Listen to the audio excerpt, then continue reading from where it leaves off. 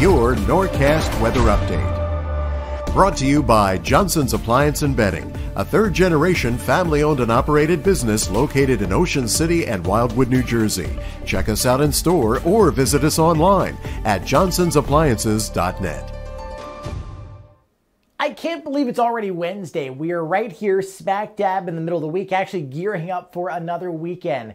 Where does the time go? I feel like I ask that question every single day, but I'm sure there's a lot of you in the same boat as myself. Anyway, we are off to a sticky start. We're off to a foggy start for some of you, so be careful if you're hopping and bopping around the roadways first thing in the morning as dew points and air temperatures are close enough could be looking at visibilities being reduced. Currently sitting at 74 in Mays Landing, 72 in Hamilton, 71 in Media, 70 out in Lancaster, 75 our warm spot down in Cape May, 72 in Tuckerton, and 71 a little farther up the parkway in places like Toms River. So generally a green light across the board in the travel, but there could, like I said, be a couple areas of patchy fog.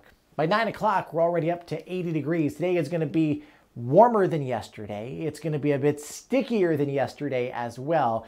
Uh, get used to it because over the next couple days, we are still going to keep that comfort factor kind of on the lower side. Make sure that you're staying hydrated, make sure you're uh, checking up on your neighbors and all that good stuff. You want to make sure everybody is happy and healthy. High pressure still down to our south and west, and this has been the driver behind the pattern that we have been in. A little bit of a dip in the jet to the east that has given us some cooler air. Clearly not the case today. We're not dealing with any kind of cool weather, but uh, you know, by and large, the overall pattern has been for cooler weather in the east. We have this zonal flow, and that's going to mean bugs at the beach today. Not much of a sea breeze initially, maybe later on in the afternoon if we're lucky. Any morning fog and clouds burn off a lot like yesterday, where we try to become partly to mostly sunny in the afternoon. Now, this model's not really doing a good job of picking up on it, but I believe there could be a couple isolated showers or thunderstorms this afternoon. Not a significant deal at all. Tomorrow, late morning, early afternoon, we could see a little more organized rain come in. We need it. We really need like an all day stratified rain event. It just doesn't look like we're going to get that. Uh, but Thursday, Friday both present an opportunity for at least some measurable rain. And you know what?